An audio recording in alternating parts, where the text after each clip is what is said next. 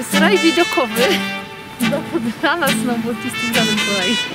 Ale jest pięknie. Możemy robić kolejnowy. Daj się!